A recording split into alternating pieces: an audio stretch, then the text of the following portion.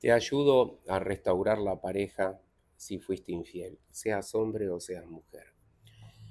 ¿En qué consiste mi ayuda? Bueno, mi ayuda es una ayuda como coach, como acompañante, como guía, también como brujo, porque yo trabajo lo energético, trabajo el mundo de las energías, el mundo de los rituales, trabajo mucho la magia mental. La magia mental es eh, a través de la mente manifestar, atraer, sanar, desbloquear a través de una serie de ejercicios.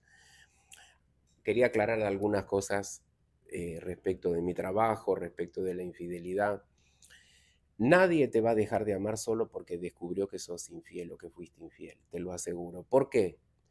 Porque dejar de amar es, es un proceso de duelo que dura varios meses, tres, cuatro, cinco meses. Nadie te deja de amar porque se enteró que ayer o que hace dos meses vos fuiste infiel o hace dos meses se enteró, por ejemplo, la persona. Nadie te deja de amar. Lo que va a estar la persona es enojada o enojado. La persona va a tener mucho enojo, mucha rabia, mucha ira, lo que va a hacer lo va a hacer para castigarte, te va a decir cosas para que te duela, por ejemplo, no te amo más, te dejo. Incluso podría hacer cosas para herirte, por ejemplo, eh, cuántas veces un hombre va y busca a una mujer y tiene sexo con la mujer, con una, con una otra mujer y le dice a la esposa, vos fuiste infiel, bueno, ahora yo me acosté con esta.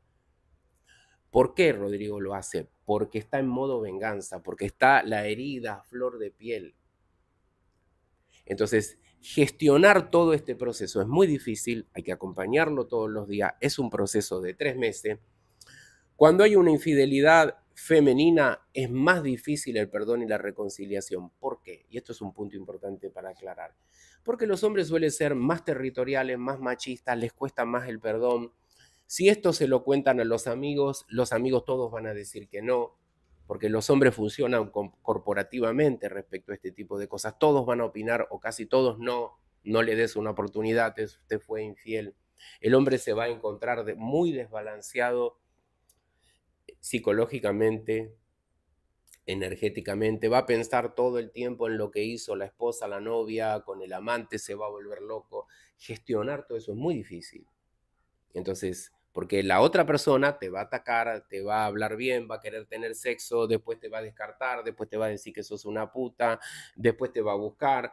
Entonces es muy importante tomar distancia al principio. Yo sé que a veces no se puede porque hay hijos, pero lo mejor es que el hombre se vaya o la mujer se vaya. Lejos el uno del otro se trabaja mejor.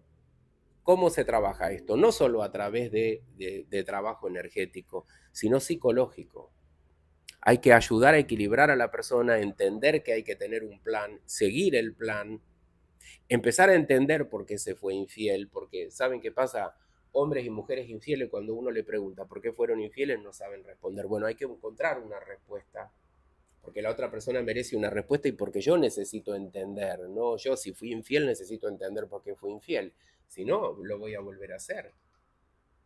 ¿Se entiende?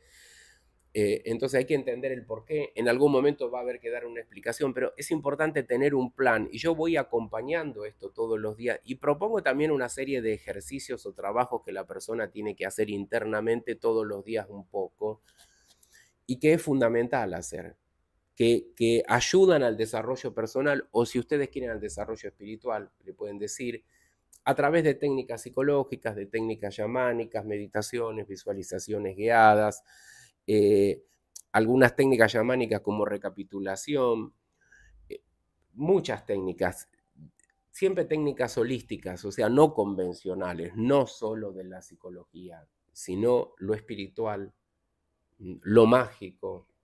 Yo hago un abordaje de ese tipo, ¿no? Pero la persona tiene que hacer todos los días una serie de tareas, tiene que mostrar un interés por cambiar, por transformarse porque la persona no puede pretender volver, ser perdonado perdonado y volver desempoderado, con la energía baja, con la autoestima por el piso, sin ningún trabajo personal hecho, solo sujetándose a lo que le diga la persona herida por la infidelidad.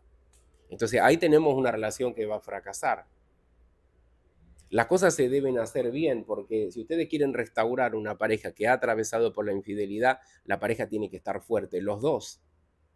Entonces hay que tomar distancia a trabajar en uno. Se, comprende. Otra cosa importante, el problema no es la amante o el amante.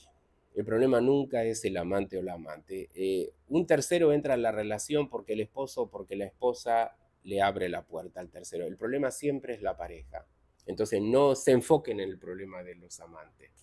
Que el amante lo busca o, que el amante publicó tal cosa en redes sociales. Miren, el problema está en la pareja. Hay que trabajar la pareja y hay que entender que esto es un proceso que no se puede resolver en una semana. Si ustedes lo resuelven en una semana, lo que va a pasar, especialmente las mujeres infieles, que el hombre va a creer que las perdona, va, va a pedir tener sexo para sentirse elegido, validado, y al otro día él va a tener mucho pensamiento respecto a lo que vos hiciste con tu amante y te va a atacar y te va a maltratar y él va a estar fuera de equilibrio. Las cosas que van a hacer van a ser fuera de equilibrio. Por eso es importante alejarse y no dar ningún tipo de validación, por ejemplo, sexual. Seas hombre o seas mujer infiel, no tenga sexo, aguántese por un tiempo, tómese un tiempo, trabaje en usted, límpiese, purifíquese, después vemos cómo seguimos pero no des esa validación porque después la persona te va a maltratar. Porque la persona herida por la infidelidad, hombre o mujer, tiene a veces el problema que cree que porque fue herido tiene derecho a castigar, a gritar, a maltratar, a violentar y a hacer cualquier locura que se le viene a la mente. Y eso no está bien. Y eso va a terminar de joder las cosas. ¿Me, me comprendes? Porque si ya le fuiste infiel a tu pareja y tu pareja ahora como solución te hace la vida imposible, te maltrata, te grita porque dice, como vos me fuiste infiel, yo hago lo que quiero ahora.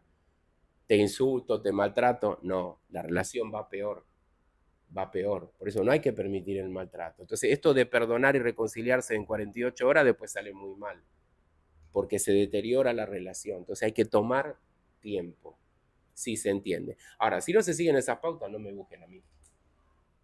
Directamente lo digo no me busquen a mí. Si ustedes creen que hacen un ritual de amor o voy a hacer un amarre o voy a hacer un alejamiento o voy a hacer esto o lo otro, no me busquen a mí porque ese es un enfoque para mí totalmente inmaduro y de muy bajo estado energético, si ustedes quieren arreglar un problema así.